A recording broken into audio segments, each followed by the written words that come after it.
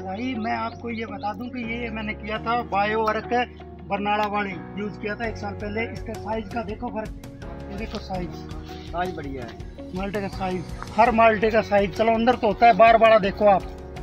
कितना साइज़ है। पिछली साइज़ ये नहीं था।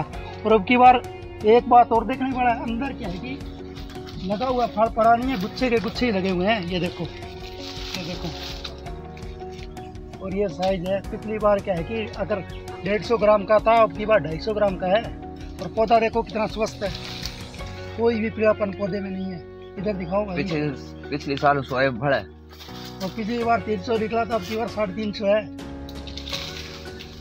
ये देखो। ये देखो।